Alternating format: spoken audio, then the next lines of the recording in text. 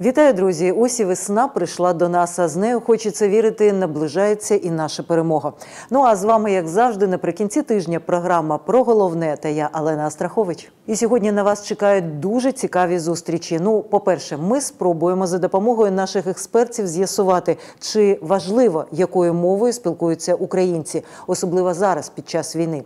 Дізнаємося, які випробування чекають наших аграріїв цю посівну кампанію.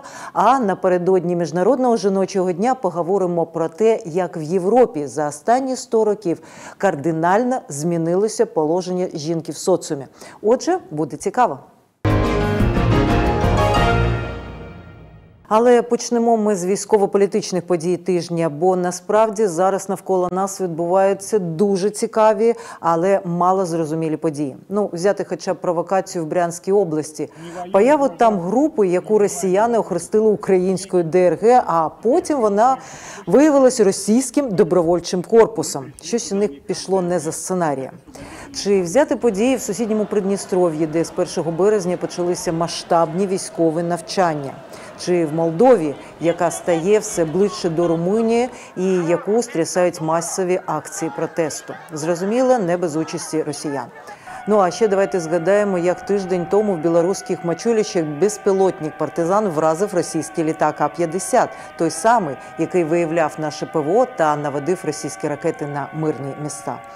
Все це, на мій погляд, свідчить про те, що війна розростається територіально і політично, і ми вступаємо в її нову фазу, можливо, вирішальну. Питання майбутнього України сьогодні активно обговорюють економісти, філософи, політики, але здається, що єдиної картини поки ніхто так і не склав, бо залишається багато спірних питань. І сьогодні ми спробуємо обговорити одне з них. Чи важливо, якою мовою спілкуються українці? Саме мовне питання багато років є яблуком розбрату в українському суспільстві. Залишається воно таким і сьогодні, під час війни, коли тисячі людей за власним бажанням перейшли на українську. На початку війни 83% громадян висловилися за те, щоб українська була єдиною державною мовою. Хоча незадовго до війни майже чверть населення виступала за надання державного статусу російській мові. Про це свідчать дані соціологів. Але давайте послухаємо, що з цього приводу думають люди на вулицях Одеси, у яких ми запитали, як змінились їх мовні вподобання за рік війни. З 24 лютого минулого року тенденція переходу на українську набирає обертів. Про це свідчать зокрема дослідження центру контент-аналізу про використання мови у соцмережах. Якщо в 2020 році українською був лише кожен шостий допис, то в 2022-му вже кожен третій. І в реальному житті все більше громадян свідомо обирають для спілкування саме державну мову. І дитину я вирощую маленьку також на українській мові. І старша розмовляє українською мовою. А скажіть, будь ласка, вони змінилися під час війни, чи це було е, ще до повномасштабного вторгнення? Ну, почали ми до, а так завершуємо вже після початку. А чому саме для вас це важливо? Тому що я не хочу, мене вже рятували з Криму, прийшли, потім мене рятували з Миколаєва. Вона була маленька, коли з Криму вигнали. Тепер з Миколаєва з другою дитиною. Я і раніше полюбляла спілкуватися рідною мовою. І зараз то взагалі я намагаюся найчастіше розмовляти саме українською, так? А чому?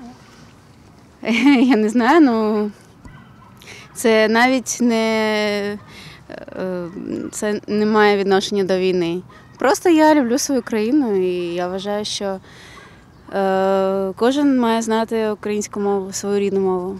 Частина респондентів розповідає, що в побуті розмовляють російською, але коли до них звертаються українською, то без проблем переходять на державну. Я розумію український язик і іноді можу спілкуватися українською мовою, е, вот, якщо чоловік розмовляє українською мовою. А так, е, звісно, я родилась виросла в Одесі і предпочтення даю русській мові. Взагалі-то розмовляємо російською. Ось. Е, Сама з Запоріжжя, живу тут. В Запоріжжі, я скажу так, теж розмовляють російською. Не було такого ніколи, щоб хтось розмовляв російською. Можу спокійно розмовляти як по-русски, так і по-українськи. Нет никакой проблемы для меня в этом. Но по привычке говорю по-русски. у нас всегда было суржик, скажем так, если честно. Э, С бабушкой стараюсь на украин. Ну как, не то, что стараюсь, просто как всегда.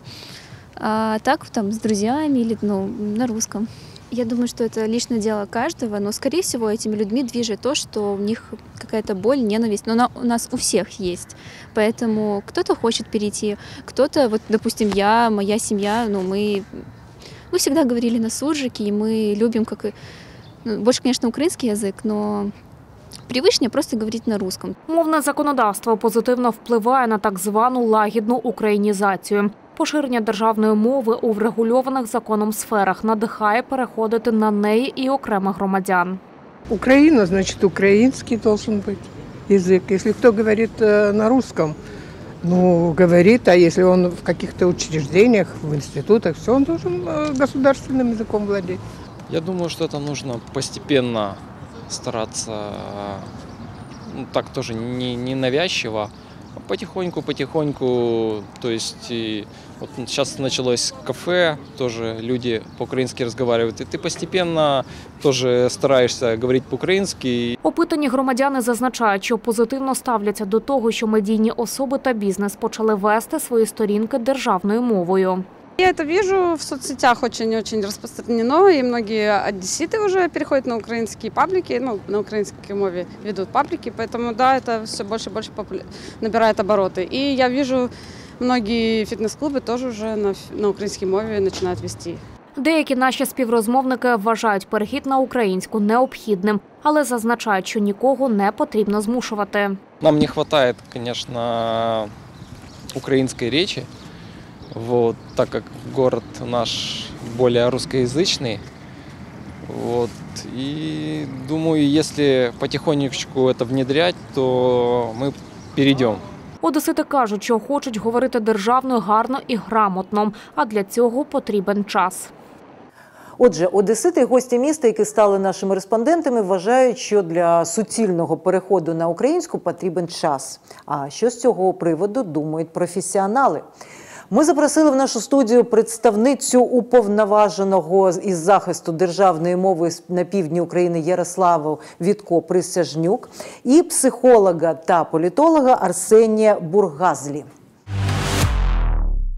Панове, ми бачили, що з цього приводу е, думаються десити і гості нашого міста. А зараз я хочу вас, як у експертів, е, спитати на ваш погляд, Ярослава, давайте все ж таки почнемо з вас, як з фахівця з мовного питання. Е, чи важливо зараз, якою мовою спілкуються українці зараз за часи війни? Е, Ну, дивіться, тут е, запитання має більш глобальний характер.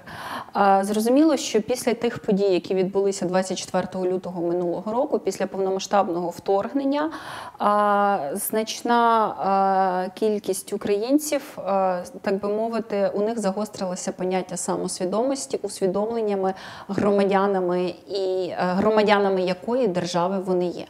І якби на хвилі, е, на хвилі загострення ось цього от національного питання е, е, мова, українська мова відіграла доволі е, потужне значення, я би навіть сказала ключове.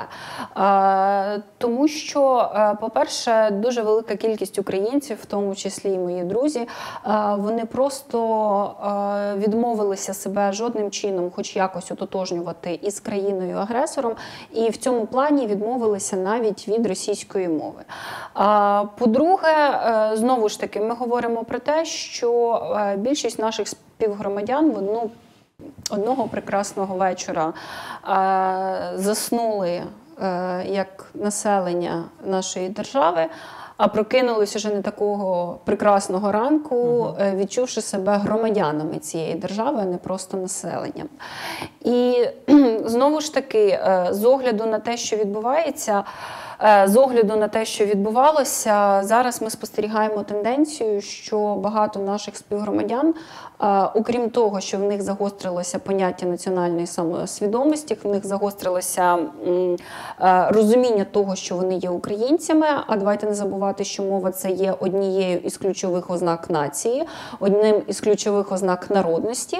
Е, Крім того всього, вони е, багато хто, е, на жаль, я навіть скажу, на жаль, почали доволі негативно негативно сприймати інших їхніх співгромадян, в яких це почуття або ж не наскільки було загострено, або ж в опануванні української мови в них виникли певні труднощі. Я гадаю, ми про це Так, ми про це будемо говорити. пізніше. Але Ярослава, ви все ж таки не відповіли на моє питання, чи важливо, якою мовою спілкуються зараз українці?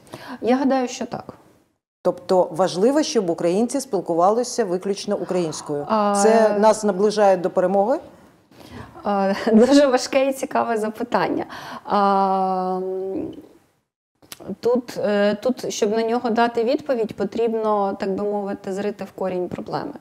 Якщо враховувати... Давайте глибоко ми не будемо занурюватись. У нас на це буде Ну, час. знаєте, я, вам скажу відверто, це таке що- доволі маніпулятивне запитання. Нас Окей. до перемоги наближають Збройні Сили України, інформаційна гігієна. І якщо ми говоримо про інформаційну війну, як аспект О, тієї війни, про це ми є, також будемо то говорити. так, звісно, українська мова в цьому контексті нас наближає до перемоги. Окей, давайте по- поки на цьому зупинимося. Арсенію, ваша думка Е, дуже цікаво почути, бо ви е, якраз е, знаєте, ви та молода людина, яка може сказати, як наше молоде покоління, яке розмовляє на декілька мовах. Ви навчалися в Європі, розмовляєте польською, англійською, російська, я розумію, вас рідна, але вільно володієте українською. Чи важливо, на ваш погляд, саме українська мова зараз? Якою мовою спілкуватися для українців? Дякую за такі компліменти. Ні, це, це не компліменти, це факти, бо вони говорять багато говорять саме про. Я би хотів, щоб моя українська була краща. Я повністю погоджуюсь з Ярославою, що українці 24 лютого, а до цього у 2014 році прокинулись як нація. А, крім цього, я хочу зазначити, дуже важливо те, що не народ, а саме нація це є е, соціальний конструкт. І націю ми можемо будувати так, як ми захочемо. Відповідаючи на ваше питання, Олено, а, чи є важливою, якою мовою розмовляти, на це питання має кожна людина відповісти сама. Тому що якщо ми відходимо від парадигми Радянського Союзу і приходимо до парадигми індивідуалізму, то ми кажемо, що кожна людина як особистість має для себе сама вирішувати, чи їй важливо розмовляти українською. І скажу, велика кількість моїх друзів теж стали україномовними, і теж я знаю вже менше, але знаю людей, які відмовились від російського контенту та навіть російськомовного контенту. І цей процес ми в нашій країні бачимо. Тобто, як я бачу, в Україні, ну, може, половина, може більша, більша частина українців каже, так, мова важлива і важлива українська. Але при цьому хочу нагадати, що ми не живемо в Радянському Союзі, ми живемо в європейській країні, і індивідуалізм і повага до особистості людини має бути. А, тобто людина повинна вирішувати сама, коли і якою мовою їй е, розмовляти. Я вірно зрозуміла вашу тезу? Це правда, і ми, як популяз... якщо хочемо популяризувати українську Ось, мову, дуже важливо. а, ми маємо создавати якісь е, стимули для цього. Вже зараз відтворюється класний український контент, е, українське кіно. Якщо ви не бачили мої думки тихі. Ну, бачили. Тобто, Е, Земля тобто блакитна, це наче апельсин. Українське кіно зараз е, має справжній ренесанс, українські пісні. Е, І це все сприяє теж е, у української щодо, мови. щодо сприйняття української мови і щодо того, як її підтримувати. Ви багато говорили і в наших е, інтерв'ю нашому каналу. А, кажіть, будь ласка, на ваш погляд, чи все зараз? Ну я розумію, що зараз за часи війни це про це важко говорити, але взагалі, е, що робить зараз держава, щоб якось підтримувати ось ці бажання, які виникли у людей за часи війни, спілкуватися українською? От якщо я хочу, але не можу, ось е, до кого мені звертатися? Знову ж таки, доволі комплексне запитання, тому що якщо ми говоримо про процеси дерусифікації, я не побоюся цього слова, тому що російська мова на теренах українських з'явилася не просто так. Ми от до початку нашого з вами спілкування поза камерами, так би мовити, говорили про процеси лінгвоциду. І, власне, наслідком цього стало те, що станом на сьогодні на території України, не дивлячись на те, що сьогодні тут е, мирно співіснують, мешкають, працюють і розвивають нашу державу величезна кількість різноманітних народів і етносів.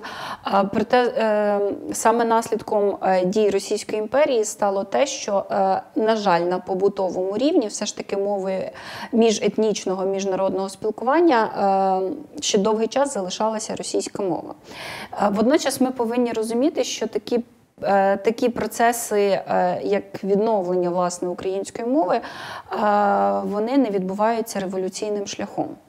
Е, Це процеси доволі тривалі. Е, Тобто за один момент е, не можна зробити, там, грубо кажучи, клацнути пальцем і зробити так, щоб вся держава різко почала говорити однією мовою. Та й насправді скажу таку, можливо, контроверсійну річ, яка не всім сподобається.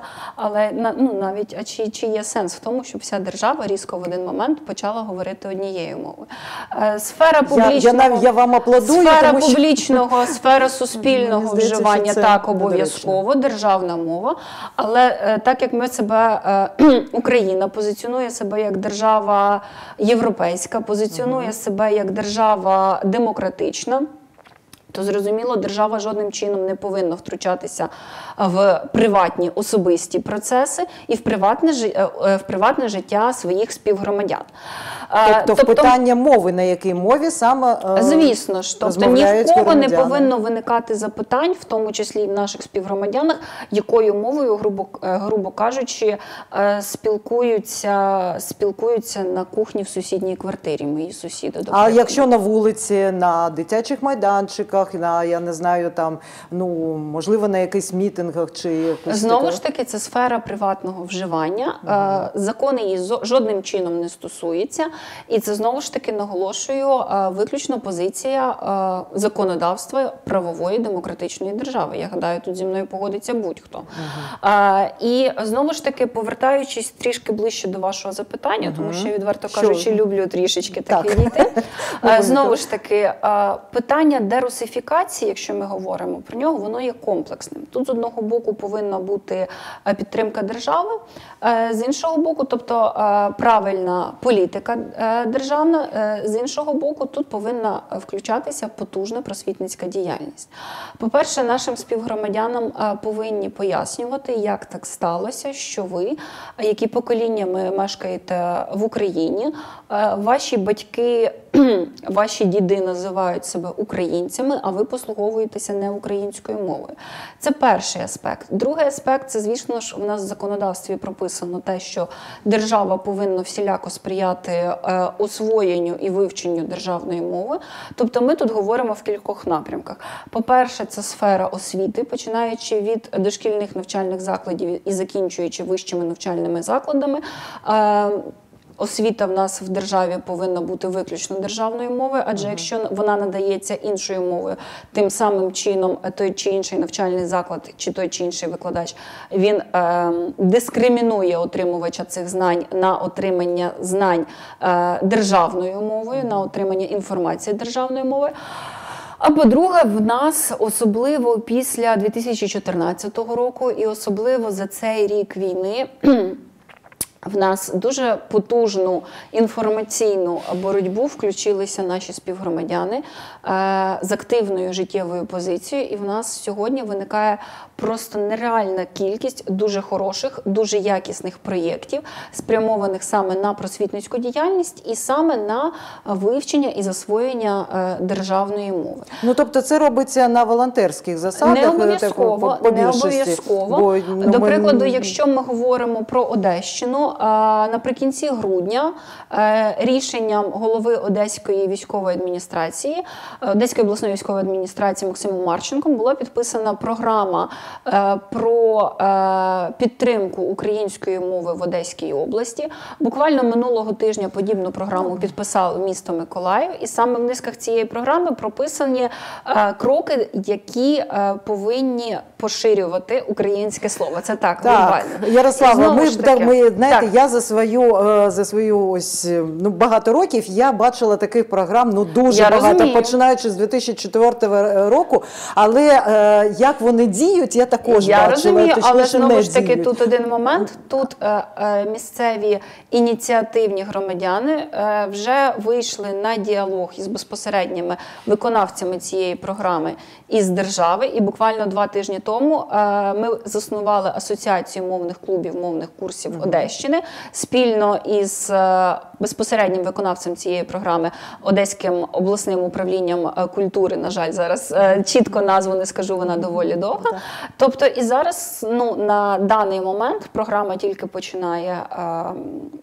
Е, Функціонувати і тільки починають виконувати, і ми вже бачимо те, що органи виконавчої Так. влади вони Щось йдуть все-таки е, роблять, не не просто роблять, а вони йдуть на е, діалог із громадськими ініціативами. І ми бачимо Так. те, що е, не тільки громадськість на своїх плечах це все тягне, так би мовити. А тут Ярослава, добре, це ми побачимо, як це буде відбуватися. Часи але покажуть, але да, е, дивіться, е, ви сказали е, дві, на мій погляд, важливі, дуже важливі речі. Е, По-перше, те, що чим більше мов у суспільстві, тим е, краще. Ну я не зовсім Ну, так може, сказала, я, я можу добре, давати. Тобто, добре, ми коли люди спілкуються багатьом. цьому. Так, добре, добре. Добре, те, що Пусть- держава а, надає таку, ну це, це навіть смішно звучить. Держава надає таку можливість. Це Держава базове право людини. Ось, власне. ось те ж саме про що говорив Арсеній. А е, ще одне е, запитання, я потім до нього повернуся, бо ви говорили, я е, вас запитала про підтримку української мови, а ви казали про дерусифікацію. Так. На мій погляд, це не одне, е, це не синоніми, це не одне також. Я, я з вами погоджуюсь, але тут ми радше говоримо а, про підтримку української мови як наслідок політики дерусифікації. Так, тобто це як частина, але наслід- зв'язок радше. Але кажіть мені, е, будь ласка, все ж таки, як е, психолог, е, коли людина повинна е, опановувати іншу мову чи взагалі будь-який навичок е, під тиском закону чи під тиском яких обставин, що відчуває така людина? Ми не говоримо зараз про вік взагалі.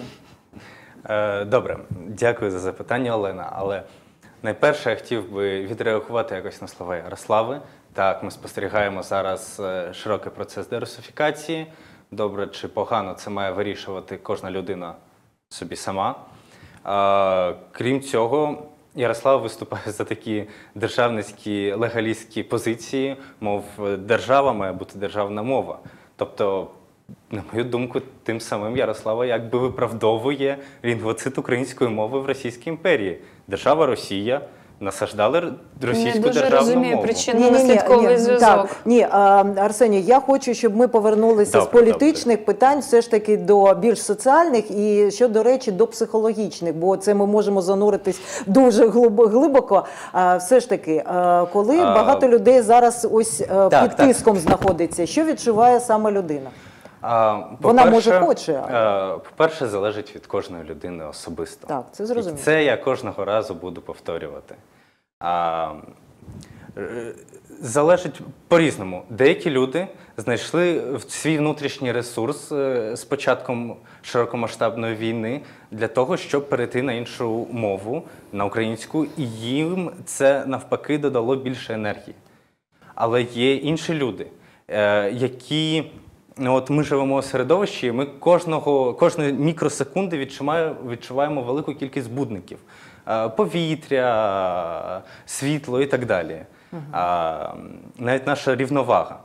А, і люди з початком війни е, в них стало ще більше цих збудників, е, ще більше середа на них впливає. І в, цій, і в цих умовах для деяких людей справді складно перейти на українську мову, тому що вони відчувають себе так, якби почали користуватися іншою рукою, або як відчувають це. Тобто я правша, мені роблять лівшою, я так розумію? Так, так, так. Е, Або взагалі спробувати користуватись там трьома пальцями. Люди відчувають деякі, люди відчувають справді дискомфорт. І можливо, зараз, коли існує так багато збудників, може і не треба насильницьким е, шляхом е, якось їх примушувати.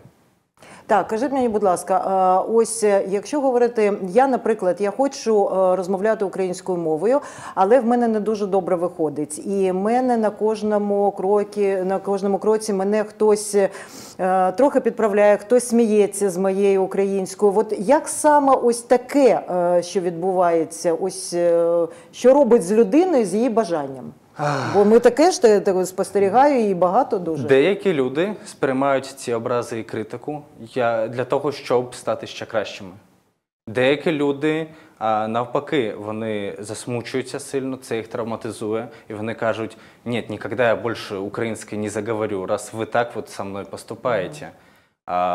І наша задача як суспільства а, допомагати підтримувати людей, які роблять е, цей складний переход на українську мову. Щиро кажучи, може навіть е, ну, не штрафувати, але якийсь соціальний осуд за те, що ти за те, що людина бере і критикує. А, ти, ти не так говориш, чи е, краще не говорив вже взагалі. Ну, це мені трохи нагадує радянські практики. Ярослава, от я, як ви е, як ви дивитесь на те, коли е, знаєте такі, ну скажімо так, е, агресивні адепти української мови е, навчають інших? Ну ви пам'ятаєте, у Львові була така в такі випадки. Чи взагалі це якось підтримує бажання людей говорити? Моя особиста думка ні. Зараз поясню чому. Скажу відверто, колись дуже давно, якщо можна так казати, дуже давно, я сама доволі радикально була спрямована стосовно поширення української мови. І ця вся радикальність закінчилася в один момент, і я зараз розповім, який. І я з одного боку розумію, чому, чому люди, які наскільки радикально налаштовані, чому в них виникає така реакція. Ці люди вони не розуміють, а, чому умовно російськомовні люди спілкуються не українською мовою. Тобто для більшості з них видається, що це ну що це тобі лінь вивчити державну мову, або ну ти що неспроможний вивчити, або в тебе принципова позиція, значить ти там якийсь неукраїнець і так далі. Здається, це перш за все очевидно. А, в мене особисто весь такий радикалізм а, стосовно російськомовних, умовно російськомовних, а, зник а, після 2016 року, коли я започаткувала проєкт Одеса Україномовна, який був спрямований на поширення українського слова. І коли я почала працювати з е, людьми, які хочуть вдосконалити свою українську, або ж бодай заговорити нею.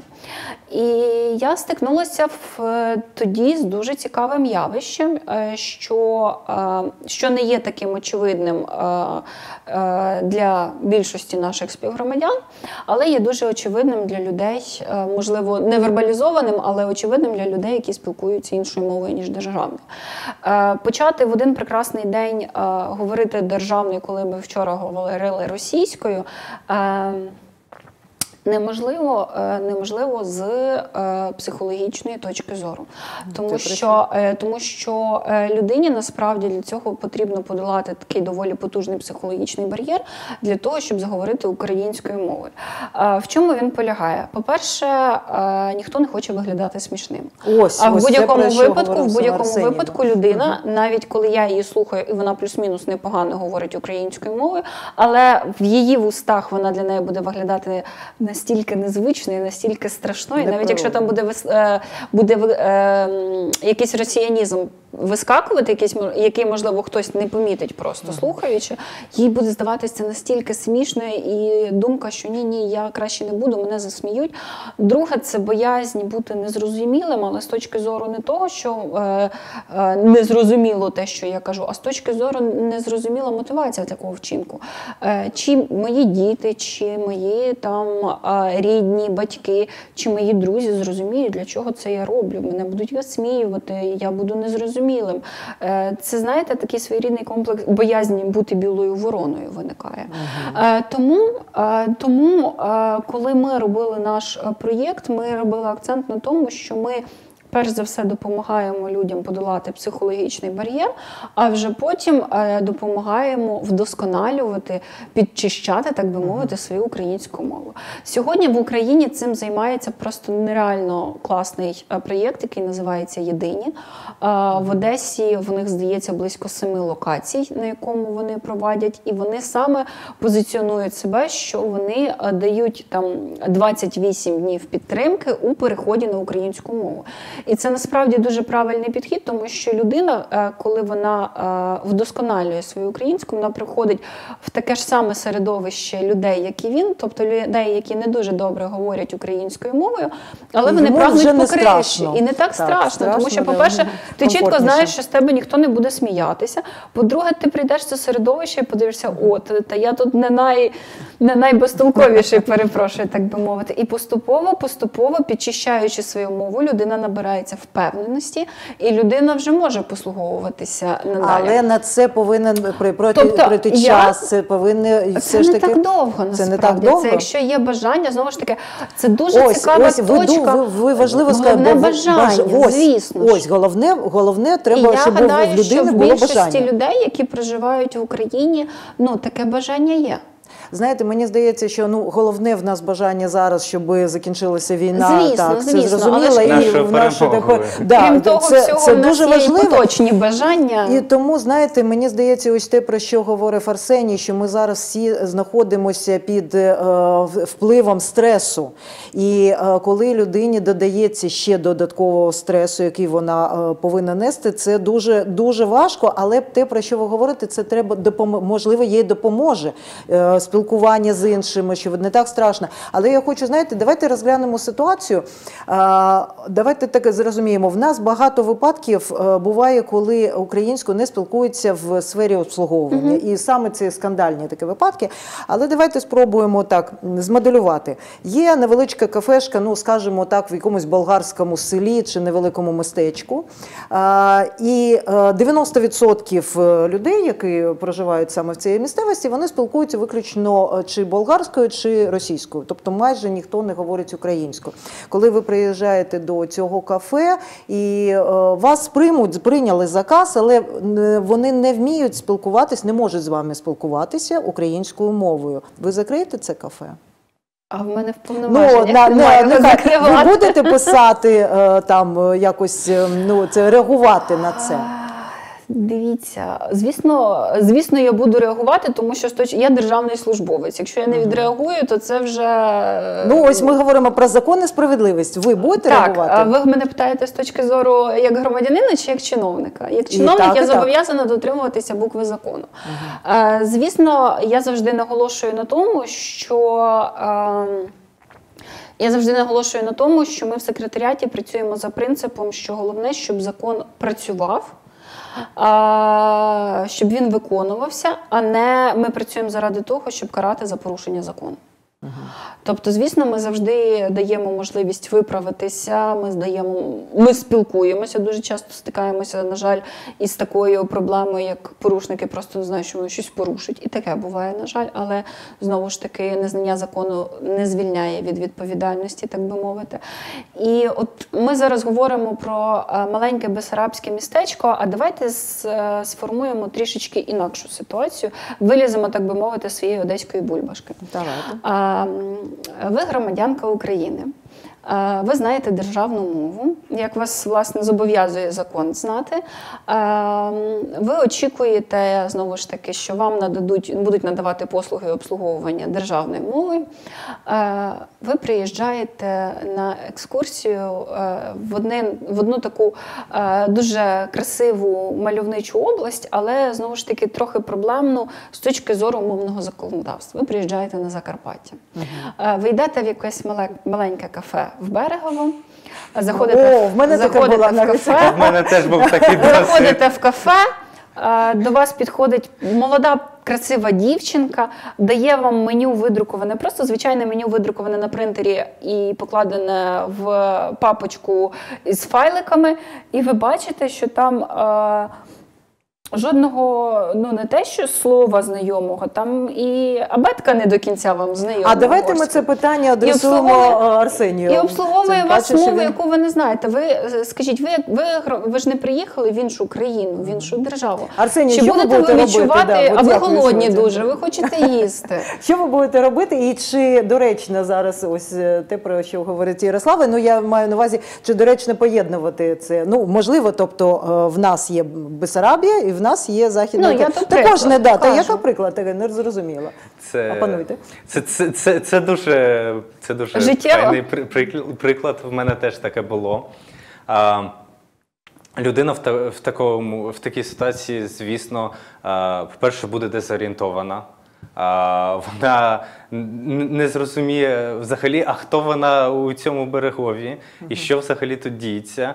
І людина почне думати, що ну, якщо тут телевізор розмовляє угорською, якщо там меню угорською, дівчина прийшла, е, привіталась угорською, то може це зі мною щось не так? Чи може перейти на англійську? Тоді. Але, але ну. А, але По більшості, все ж таки, ми говоримо про випадки такі, знаєте, окремі. А більше, е, більша частина е, України говорять добре, говорять і розуміють і російську, і українську. І зараз ми говоримо не про ці мови, можливо, які невідомі чи відомі тільки в окремому Знову ж таки, ми апелюємо про те, що більша частина України говорить і тією, і тією мовою, перебуваючи в своєму одеському середовищі. Я гадаю, варто поїхати трошки більш Можливо, західніше. знає, ну, чому ми все, все одно, знаєте, ми все одно говоримо про захід. Давайте поїдемо на схід. Давайте. І кажіть, будь ласка, ось дивіться, я хочу повернутися до того, з чого ми почали, і тут дуже важливо. Бо ми почали, що зараз мовне питання, е, чи доречно взагалі зараз говорити про нього за часи війни. Бо можливо у цьому болгарському селі, знаєте, яке закриють за е, невиконання мовного закону. Його не закриють. В законі не, закриють. перед, не прописано. Там максимум штрафні санкції. Штрафні санкції. Але давайте, давайте е, уявимо собі, що саме у цього господаря, якому, ну, наприклад, 60 років, а в нього два сини, які воюють зараз на фронті. І вон, вони, він напише їм Ви листа. знаєте, ми моделюємо такі вже кажуть. аж е, ситуації. Дивіться, а так, давайте це життєва Ні, давайте змоделюємо з іншого боку. От правильно Арсеній каже про те, що в кожного різна психологія, кожен по-різному реагує. Хтось прийде як в берегу, посміхнеться з ситуації, посміється з ситуації, подумає, Боже, скільки нам роботи. А хтось прийде е, доволі е, агресивно налаштований і скаже: Вибачте, але ви цим порушуєте мої права як громадянина України. Я не можу хайп в я не можу отримати е, норма, ну не те, що навіть нормальне. Ви позбавляєте мене права на отримання послуги державною мовою.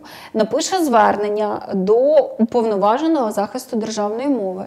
Звернення потрапить на секретаріат, на виконавців, так би мовити. І тут ми знову ж таки говоримо. Е, ми говоримо про те, що ми живемо в правовій державі.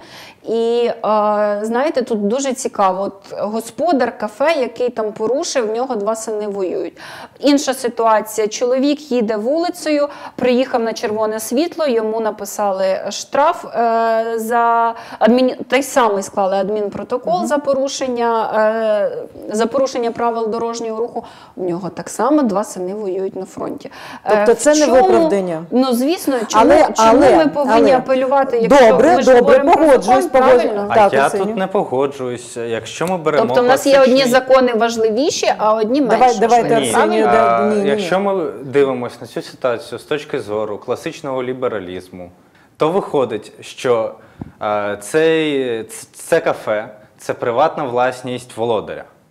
І людина має повне право розпоряджатися собою, своїм трудом і плодами власного труда.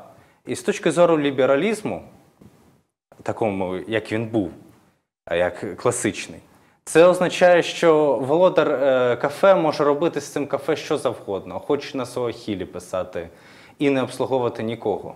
А державний закон в цьому разі він не, не дотримується принципів лібералізму, на жаль. Він дотримується якихось радянських принципів. Е, Добре, за Так. вашою давайте за вашою ж логікою, якщо дотримуватися цих принципів е, і закон е, їх не дотримується, я пропоную тоді анулювати ще е, будь-які е, піднормативні е, підзаконодавчі нормативно-правові акти, які регулюють е, суспільну е, суб'єктів господарювання. До прикладу, я пропоную, е, що це кафе е, воно не прови не повинно е, дотримуватися санітарно-епідеміологічних. е, Але це норма безпеки. Норм. Це трохи інше, все ж таки. Це Е, ж життєдіяльність.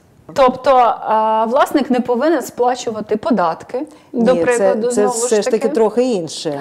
Е, і е, знову ж таки, ми апелюємо до того, що власник, який спілкується з клієнтами, він собі на кухні може хоч французькою, щоб хоч кавказькою і так далі. Але коли до нього е, приходять клієнти і за замовчуванням, по ідеї, здебільшого це повинні бути громадяни України. Тому в чому, е, в чому логіка? А мені здається, знаєте, тут е, ми трохи е, вторгаємося в трохи інше питання, бо бізнес по всій вже- країні, да, бізнес по всьому світу він повинен бути зацікавлений. Подивіться, як це в Європі, в Штатах. Ми говоримо там англійською, ми говоримо італійською. і Це залучає більшість людей, але це трохи інше питання. Ми обов'язково ще поспілкуємося. Але я хочу, щоб ми все ж таки на останнє, коли е, наші хлопці та дівчата на фронті. Мені здається, і з, через те, що я з деякими з них спілкуюся, ось їм там взагалі байдуже, якою мовою ти спілкуєшся. Головне, як саме ти б'єш ворога. Кажіть мені, чи я не права. У мене чоловік військовий 16 Ну, року ось воює. і що? Йому важливо, якою мовою Якою мовою? І ну, це, це вже не, не для кадру, так би мовити. Велика Добре. кількість різноманітних нюансів, безпекових нюансів і так далі. Е, Тут розумієте, тут е, проблема в іншому. Тут проблема в тому, що в нас зараз на законному рівні підтверджено власне те. е, В нас є рішення Конституційного суду від 14 липня 2021 року, в якому йдеться про те, що Російська Федерація в гібридній війні з Україною мовне питання використовувала як ключовий аргумент. Так, на саме жаль, через на жаль. це, саме Да. через це е, в нас е, дуже велика кількість маніпуляцій відбувалася навколо цього. І саме через це мовне питання вже в рази менше ніж було раніше, але тим не менше до сьогодні в наших деяких співгромадян є тригером і викликає не зовсім ті емоції, які мало би викликати. Ну загалом Ваші викликає пропозиції, емоції. ваші пропозиції, тезис на пару пропозицій, що потрібно зробити, щоб цього не було. Зокрема, Е, в, про, в програмі тій самій Одеській одним із пунктів йдеться й те, що потрібно позбавляти мовне питання політичного забарвлення. Власне, е, Чудово. для цього це повинна бути потужна, перш за все, контрпропаганда, по-друге, просвітницька робота, і по-третє, це дати можливість е, всім громадянам України вдосконалювати і вивчати державну мову. Арсеній, ваші рецепти, як зробити, як зробити так, щоб мова перестала бути яблуком розбрату в Україні? Е, По-перше, треба сказати собі, що процес українізації це дуже довгий процес, і він триватиме може покоління, може декілька поколінь. Е, І якщо ми хочемо щось пришвидшити, то це кожного разу буде збільшення насильства над людиною. І в цьому разі так, суспільство в якийсь момент скаже: так, це, це насильство ми ще толеруємо над особистостю, це вже насильство ми вже не толеруємо. Тому, щоб якось цей процес допомогти, потрібні також психологи, які будуть е, працювати з травмами людей, які будуть е, люди, які травмовані війною, які травмовані радикальними мовоборцями. Російськомовні мовоборці теж є, які будуть пом- допомагати цим людям подолати цей свій е, досвід. Час покаже, хто з нас був прав, але я розумію, що ми всі, нас всіх об'єднує одне бажання жити в вільній, демократичній, е, європейській країні Україні, яка обов'язково переможе.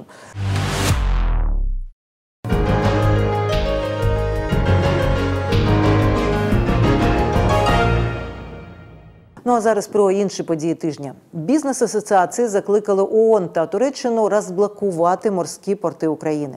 Як сказано у спільному повідомленні Європейської бізнес-асоціації, Американської торгової палати в Україні та УКАП, інспектори з РФ, які оглядають кораблі з України в рамках міжнародної зернової ініціативи, штучно блокують її роботу. Через що в Босфорі зібралася черга зі 140 кораблів. Водночас російські судна у Чорному морі взагалі не підлягають перевіркам. Між тим в Одеському регіоні стартувала весняна посівна на два тижні раніше ніж в інших регіонах України. Вже вдруге кампанію проводять за умов воєнного часу. За рік сфера сільського господарства адаптувалась до реалій, в яких вимушена існувати, заявляють у профільному департаменті обладміністрації. Його керівника Аллу Стоянову ми запросили сьогодні до нашої студії. Отже, Андріївна, я розумію, що на цьому тижні, ну минулого тижня, е, почали е, одеські аграрії посівну. Ми перші почали її зі всієї України. Але кажіть, будь ласка, е, як вплинув останній рік війни на саме ось ці події? Що буде зараз відбуватися? Як відчувають себе наші аграрії? Чи впевнені вони в тому, що буде далі? Ну, я, якщо ми будемо казати про почуття, що- то наші почуття лише міцніють, і наша е, надія є е, дуже такою потужною, що ось ось десь е, вже на горизонті надвигається вже перемога наша. Тому аграрний дух е, він дуже такий сильний. Аграрії налаштовані позитивно, вийшли в поля. Е, Одещина розпочала вже другу посівну весняну кампанію у воєнний час. І е, вже маємо результати більше двох тисяч гектарів гороху посіяно. Готуємо, готуються сіяти ярий ячмінь пшеницю, готуються сіяти е, кукурудзу. Е, По плану це має бути цифра більше, ніж 150 тисяч гектарів. Е, Соняшник на площі більше, ніж 400-410 тисяч гектарів. Тобто настрій він зберігається на, на такій е, більш позитивній ноті, ніж е, у минулу весну. Тому Коли що було нічого не зрозуміло, так, як у минулому буде, ну, році так. було дуже тяжко, тому що було зруйновані ланцюги постачання, не було розуміння, де брати добрива, де брати насіння, де брати палива. Ми всі пам'ятаємо ці шалені черги, які були.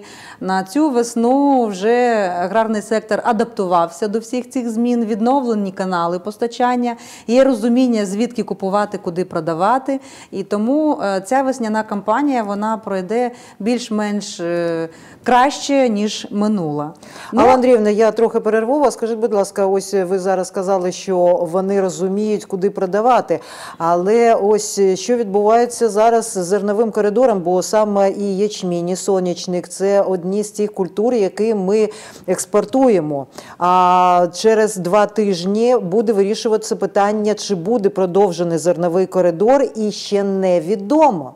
Бо зараз, от що зараз вам відомо про те, що там Ну, що відбувається? Відбувається те, що для нас не є новиною. Одразу, як у нас закінчується строк зернової угоди, ми чуємо все одне і те ж. Тобто йдуть маніпуляції з боку е, Росії, що чи буде, чи не буде, тримають ось на тако, в такому режимі очікування, чи відновлять, чи погодяться, чи, чи не погодяться. Ну а що вони роблять? Бо окрім е, справжньої війни, яка відбувається в Україні, йде ще інформаційна війна, йде інформаційна війна на світовій арені. Тому що якщо ми, як Україна, забезпечені продовольством, в нас немає проблем із і нестачі немає продуктів харчування, то в світі проблема зовсім інша. Е, Продовольчий баланс світовий він зменшується, і е, Україна є гравцем на світовій арені з нашою пшеницею, олією. До речі, в минулому році або за період війни ми експортували майже 40 мільйонів тонн зерна, з яких найвелику кількість е, це була кукурудза, майже 15 мільйонів, біля 8 мільйонів це була пшениця, наша українська пшениця, яка годує світ. Біля 3 мільйонів, це наша е, соняшникова олія. І хочу зазначити, що е, я впевнена, що світові лідери, які брали на себе відповідальність, вони розуміють безумовно. Відсутність цієї продовольчої безпеки в світі розуміють, що ті країни, яким нема що їсти, яким нема за що купувати, що їсти, то їх треба годувати, і за них е, е, має нести хтось відповідальність. Тому мені здається, що зернова угода буде продовжена. Наш аграрний сектор її очікує. Для нашої країни це питання нашої економіки, я це завжди кажу. А для для світу це питання голоду. Так, я розумію, що аграрії е, посіяли і будуть сіятися з розрахунком на те, що зернова угода буде продовжена, і вони будуть продавати і в майбутньому своє зерно е, далі там за кордон. Ну, Там трішечки зараз трейдинг лінії. е, просів, тому що е, закупівельні компанії не мають розуміння. Е, Власне, що відбувається буде в дальнього експорту, вони не мають розуміння, як вони будуть працювати через великі порти, через малі.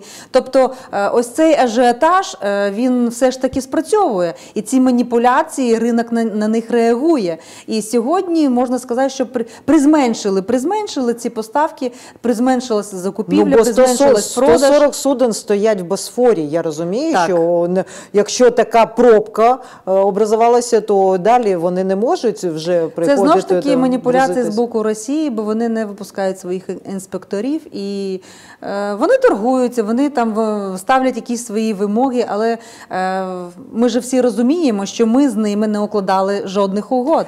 Наша Так. угода вона з ООН і з Туреччиною. І з нашого боку проблем немає. Е, Відповідальність, яку взяли ми на себе, ми її виконуємо. Всі умови з нашого боку є виконаними, а далі- далі, рішення за ними. Так, Е, добре, Алла Андріївна, кажіть, будь ласка, що стосується безпосередньо аграріїв, е, які зараз е, в них ви казали вже, що в них є і добриво, і паливо, а гроші звідки? Тобто, чи є в них гроші на це добриво і паливо? Тобто постачання є, а гроші, щоб е, чи вдалося їм отримати гроші за майбутній врожай, чи вдалося їм е, звільнити елеватори, про які ми з вами говорили восени, що вони були під зав'язку там. Е, От що, що далі? От що в хазяйстві, в господарствах відбувається? Ну, з грошима будемо відверто казати, тяжко було і тяжко є.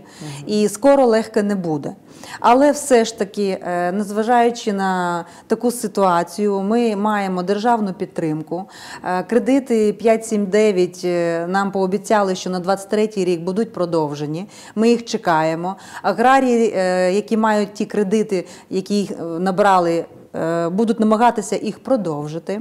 Е, Відсотки за них е, є діє програма компенсації, вони сплачують мінімальні.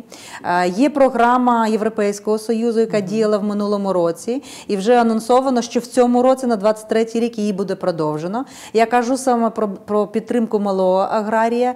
Е, Буде продовжено дотацію в розмірі 3100 гривень на 1 гектар для підприємств від 1 до 100 гектарів. Буде продовжено дотацію для е, по е, 5300 гривень на одну голову великої рогатої худоби для малих е, також е, тваринників, які мають в господарстві до 100 голів. Тому Підтримка вона є. Е, Ще, е, до речі, працює підтримка грантова по переробці, по теплицях. Підприємства мають можливість отримати грантові безповоротні гроші до 7-8 мільйонів гривень. Це від Світового банку чи Так, кого? е, діє програма Власна справа. Тут в будь- будь-який сектор економіки на розвиток власної справи може отримати 250 тисяч гривень. Діє програма по садівництву, тому що це та галузь, яка налічує найвелику кількість робочих місць. Тобто є програма, по якої можна отримати до 400 тисяч гривень на гектар. Тому е, підтримка з боку держави є. Я навіть скажу більше, що ті програми, які заходять сьогодні до нашої країни, до нашого регіону, е, їх не було в такій кількості навіть у мирний час. Більш за того, є велика, велика дуже допомога від е, донорів міжнародних. Наприклад, зараз е, працює програма е, від USAID Agro. Через державний аграрний реєстр можна подавати заявки з 1 до 14 березня підприємствам і отримати безкоштовно добриве і насіння. Діє інша програма від ФАО продовольчої компанії ООН, через яку теж заявки приймаються в державному аграрному реєстрі і можна отримувати безкоштовно насіння. Тобто державна програма, е, донорська програма, європейські гроші це все є. Е, Ми, як департамент аграрної політики, ми координуємо ці всі напрямки, е, розповсюджуємо і е, інформуємо наших аграріїв, щоб вони залучалися до реєстрації саме в державному аграрному реєстрі, тому що вся підтримка сьогодні є на, нарешті прозорою, і все відбувається дистанційно, тобто вдома свого власного електронного кабінету. Навіть е, впровадили бронювання працівників. Це той сектор, який ми маємо теж правильно скоординувати для того, щоб забезпечити сектор е, людським ресурсом, для того, щоб було кому сіяти, кому збирати. В силу вступила е, нова постанова 76, є порядок, він вже працює.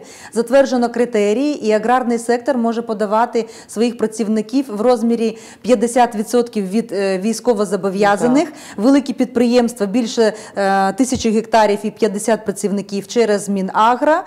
Ті, хто менше ніж тисячі гектарів і 50 працівників через нашу обласну адміністрацію. У нас створена комісія, яка працює. Департамент аграрної політики приймає документи, Ага, заявки. Великих ми теж Тобто це, це чоловіки, яких не повинні забирати на фронт, бо вони потрібні саме виконувати ці роботи в аграрному секторі. Я вірно зрозуміла? Бронювання ви про це? Е, Так, саме так, так? бронювання це саме це. Тобто, Ага. якщо цей фахівець є критично важливим для підприємства, Це трактористи, які саме фахівці? А, про ну, будь-які які, е, приймає рішення само керівництво. Чи тракторист, чи механізатор, чи юрист, чи керівник, чи заступник, е, або бухгалтер, е, або там механік, сварщик, інженер. Тобто всі ці е, професії, які є критично важливими для підприємства, підприємство подається і отримує статус критично важливого підприємства для громади. І ось такі підприємства звертаються до нашого департаменту. У нас навіть є критерії, є нові умови. Вчора розпорядження було юстовано, і сьогодні відбулася перша комісія на обласному рівні. Критерії для аграрного сектора це підприємство е, має не мати боргів по заробітній платі і по податках.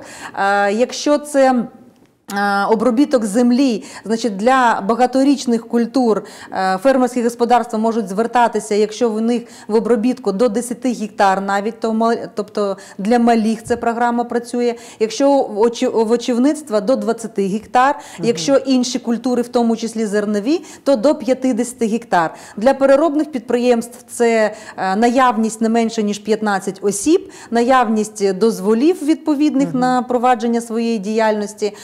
Е, Ну і наявності профільного кведу віду діяльності. Так. Тобто, якщо підприємства Цікаво. відповідають трьом критеріям з п'яти, то ми їх працівників е, бронюємо. А є кількість людей, яких можна забронювати в одному підприємстві? Якась е, положення На про це? підприємстві можна забронювати е, від штатного розпису. Ми бронюємо лише ті, які підлягають бронюванню, тобто це військово зобов'язані. І е, згідно постанови 76 ми маємо право е, подати на бронювання 50% від військовозобов'язаних. Тобто ми приймаємо ці документи, відправляємо на Генштаб, відправляємо на Мінекономіки, приймається рішення, і е, працівники отримують це е, працівники отримують наказ. Цей наказ доводиться до центрів укомплектування. Вони входять до реєстру і вони вважаються заброньованими. Так про що я хотіла сказати? Я почала з, з того, що навіть процес бронювання е, ми перейшли теж в електронному вигляді, і на сьогодні, через сидячи вдома, через електронний е, кабінет, аграрії мають можливість впроваджувати навіть проце- процедуру бронювання. Це почалося тільки, тільки, тільки да? на цьому Так. тижні ось цей процес почався. Все це стосується е, також і підприємств, які переїхали до нас, і взагалі чи багато переїхало до нас підприємств, ну взагалі з Херсонської, з Миколаївської області, і як вони себе почувають тут, чи не закрилися вони? Що це за підприємства? Ну, е, у нас на території нашої області немає закритих е, стратегічних підприємств ні переробної діяльності, ні е, сільськогосподарського напрямку. Навпаки, так ми приймаємо бізнес, який є релокованим з наших сусідніх регіонів. І ви знаєте, що наш регіон дуже щільно допомагає і Херсону, і Миколаєві, і продовольчими наборами, і харчовими продуктами і наборами, переселенцями. І навіть до нашої до нашого регіону ре- релокувався е, інститут кліматично орієнтованого сільського господарства. Е, Ми наша Одещина теж. Їх прийняла. І на сьогодні будемо допомагати для того, щоб зберегти е, ту команду науковців, яка є, підтримати, е, тому що багато є е, напрацювань наукових, і ми вдячні кожному, хто не втік з нашої країни, хто залишився і готов працювати далі. Ну а зараз давайте поговоримо про справи родиння. Подати заявку на реєстрацію шлюбу за 15 хвилин онлайн, без паперової тяганини, без витрат часу на походи до РАЦУ. Декілька десятків одеських пар вже скористалися новою послугою від дії. Онлайн також можна вибрати місце реєстрації, час, формат церемонії та заплатити держмита. Наскільки популярна така експрес-пропозиція серед молодят, дивіться далі. Подати заяву про шлюб без зволікань та марнування часу. Молодята можуть позбавити себе заповнення паперових заяв, перевірки у держреєстратора та черг у банку. Подати документи в такому експрес-форматі можна буквально у декілька кліків. Зазначається прізвище, ім'я по батькові, дата народження, громадянство, серія номер паспорта. Обов'язково паспортний документ перевіряється за ресурсом ДМС, тобто там реєстр є, який чітко нам видає інформацію щодо дійсності паспорту. Якщо це попередній шлюб е, був припинений, то має підтягнутися цю заяву рішення суду про розірвання шлюбу. шлюбу. Е, Визначається дата е, призначення шлюбу. Е, Прізвище, яке обирають наречені після державної реєстрації шлюбу, та береться ця, цей документ в обробку. Якщо перевірка документів відбувається благополучно, відповідь на свою заявку молодята можуть отримати в найкоротший термін. РАЦ надішле на електронну пошту відповідь та деталі церемонії. Далі потрібно тільки не забути з'явитися до РАЦу у день одруження. Вартість коливається від 1 гривні до 1650, залежно від обраних послуг та дня реєстрації шлюбу. В Одеській області е, подати заяву на державну реєстрацію шлюбу через дію можна було з грудня місяця 22 року. На сьогоднішній момент у нас 36 пар ну, пар наречених, які скористались даною послугою та подали заяву на даний вид послуг. Послуга заявки онлайн через сервіси Мін'юсту працювала вже кілька років, повідомляють у відомстві, але дещо в іншому форматі. Нині через дію цей процес максимально спростився. Імовірна затримка такої послуги може бути банально відсутність електроенергії. Наречені мають бути готовими, що подача заявки е, на цей від послуг через дії вона е, має якийсь час. Тому що е, в опрацюванні, по-перше, ми маємо три робочих дні на опрацювання цієї заявки. По-друге, ми чітко бачимо по взаємодії, мають працювати всі реєстри. Тобто світло має бути кругом. Щоб все це було видно, це було перевірено, прозоро. Якщо це все в ідеалі працює, то того ж самого дня будуть наречені мати, мати підтвердження на, на обраний вид послуг. Незважаючи на війну, кількість шлюбів, укладених у 2022 році на Одещині, порівняно з попереднім роком, зросла. Водночас кількість розлучень скоротилася, повідомляють у Мін'юсті. Шлюбів стало більше. Це один вид реєстрації, який збільшується. Всі інші вони йдуть донизу, вони зменшуються. Особливо зменшується розлучення. Як на мене, це дуже позитивна динаміка, що шлюбів більше, ніж розлучень. Шлюбів у нас більше там порівнянні з минулим роком більше, ніж на тисячу актових записів приблизно. Більше у 22-му зареєстровано, ніж у 21-му шлюбів. На час військового стану уряд спростив порядок укладення шлюбу для військовослужбовців, правоохоронців та медиків, дозволивши їм одружитися заочно за наявності завіреною керівником заяви. Також розписатись можна онлайн. Решта, як правило, не дивлячись на війну, так чи інакше замовляють хай не масштабні, але святкові церемонії. Проводяться реєстрації в урочистій обстановці, багато. Е, Дехто тут хоче просто прийти розписатись, поставити свої підписи та узаконити свої відносини. Е, Свята відбуваються щодня. Ми їх бачимо, ми дуже щасливі та радіємо, що люди ще знаходять цей позитив у цій послугі, щоб е, дати один одному щастя. Та і ми радіємо за них. І ще про одну подію минулого тижня в репортажі наших кореспондентів.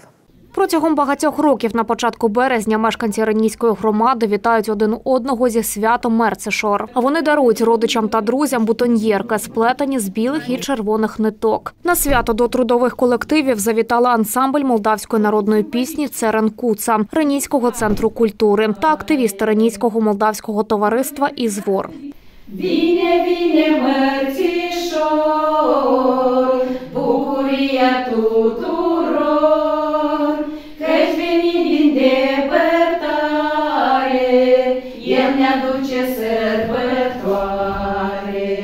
Мешканці Ренійської громади, коли дарують один одному червоно-білі бутоньєрки, згадують старовинну легенду. Першого дня березня прийшла красуня весна, озирнулася і побачила, як у заростях терну пробивається з-під снігу пролісок. Вона вирішила допомогти йому і почала звільняти квіточку від колючих гілок. Зима побачила це і розлютилася. Вона закликала холодний вітер зі снігом, щоб знищити первоцвіт. Весна прикрила руками паросток і вкололася терниною. З її пораненої руки впала крапля гарячої крові, і квітка ожила. Так весна перемогла зиму, оповідає легенда.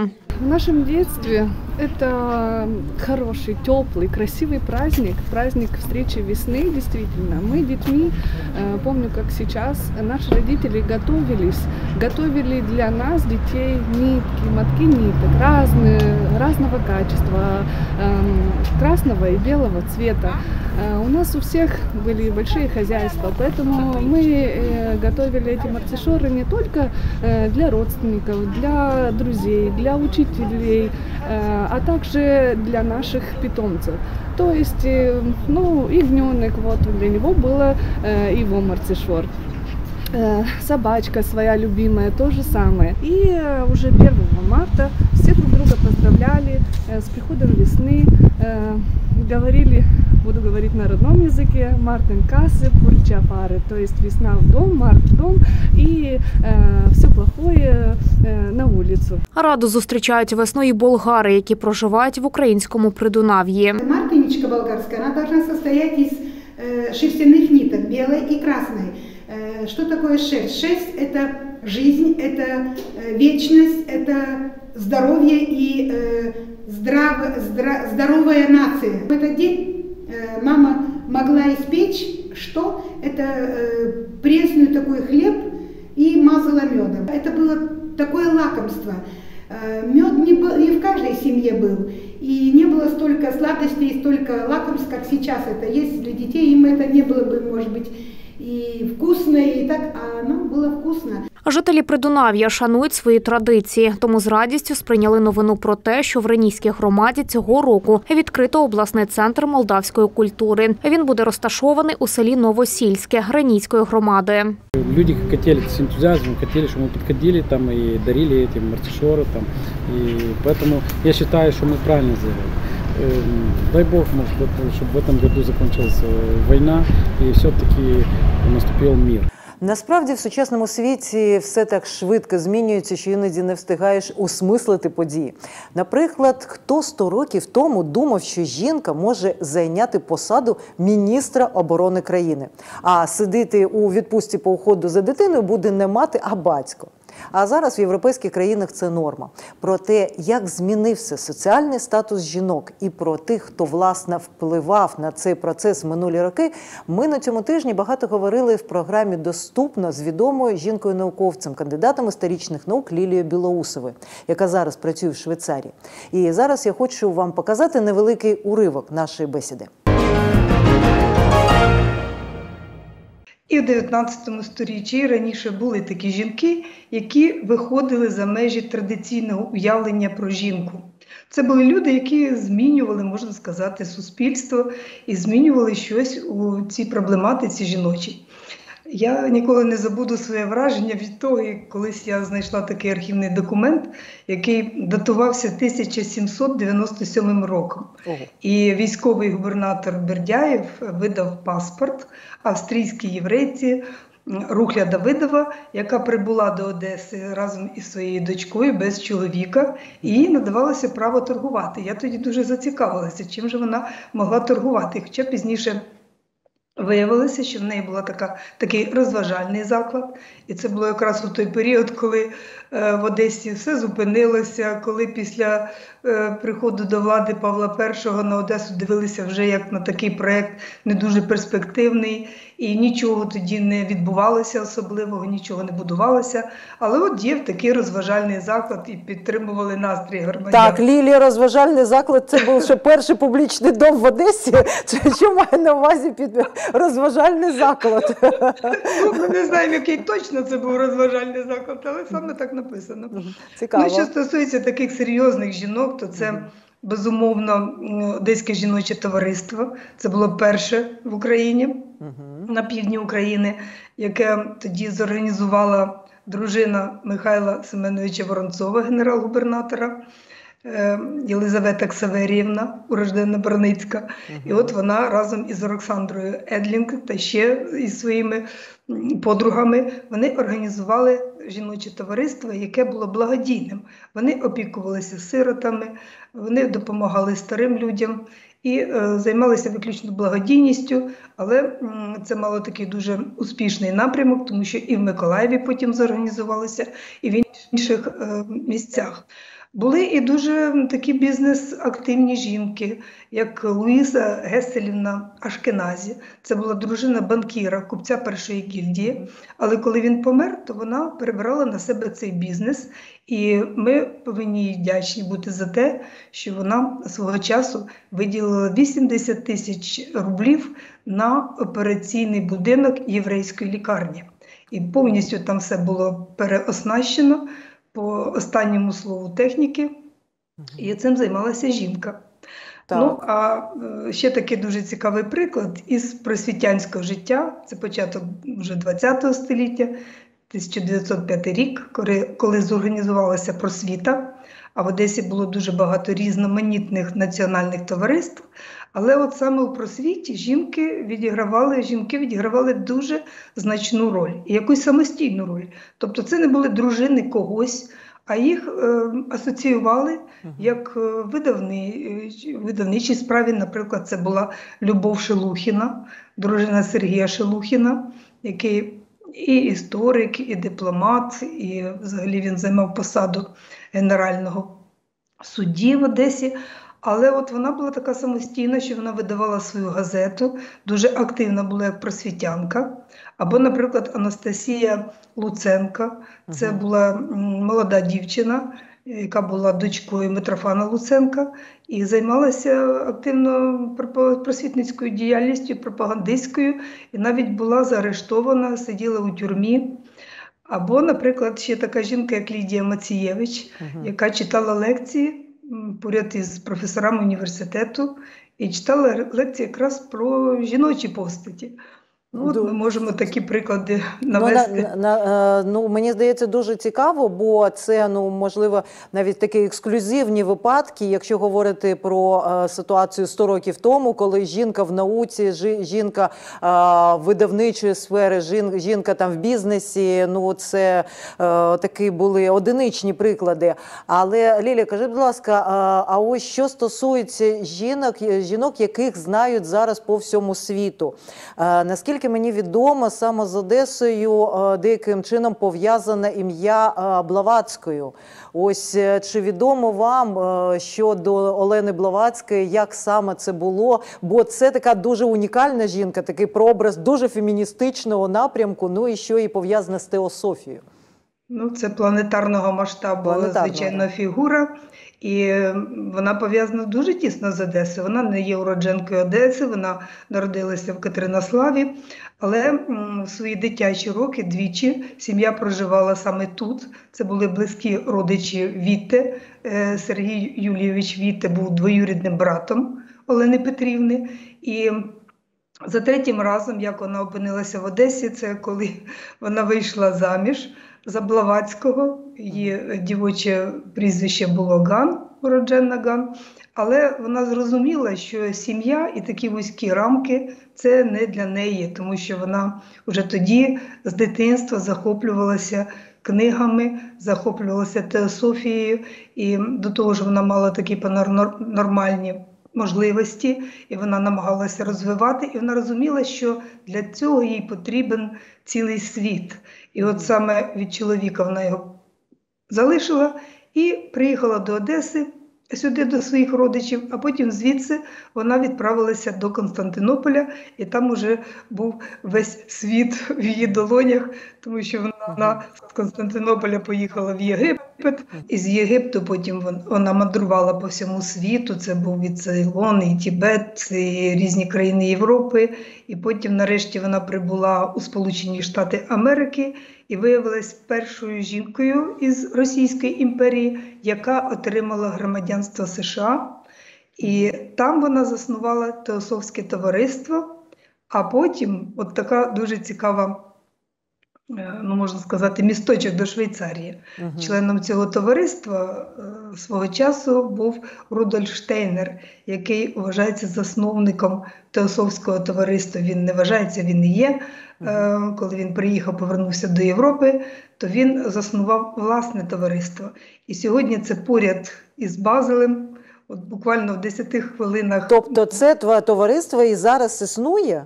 Воно зараз існує. Ага. Це взагалі світовий е, антропософський центр. Ого, дуже цікаво. А жінки там є, і взагалі ось е, цікаво, як саме е, можливо ось біографія Блаватська, її такі е, її е, погляди, як вони вплинули на те, що зараз відбувається з жінками в Швейцарії. От що ви спостерігаєте? Дуже цікаво. Ну, жінки в Швейцарії це окрема тема. От ви знаєте, якщо це пов'язувати вже із 8 березня, то тут не відзначають 8 березня, як у нас.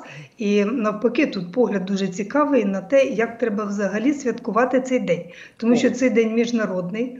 Пам'ятаємо, що Організація Об'єднаних Націй оголосила про це в 1977 році, і що це взагалі не почалося з Клари Цеткіна, це почалося з Америки. Якраз 8 березня 1857 року була перша така демонстрація жінок, які, яку називали маршем пустих каструль.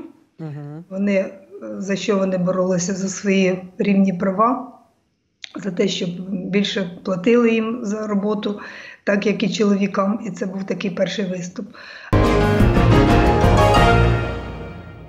Повну версію розмови з істориком Лілією Білоусовою ви зможете знайти на нашому ютуб-каналі в програмі Доступна. Ну а в мене на сьогодні всі новини. Я прощаюсь з вами до наступної неділі. З вами була Олена Страхович. Бережіть себе, і все у нас буде Україна.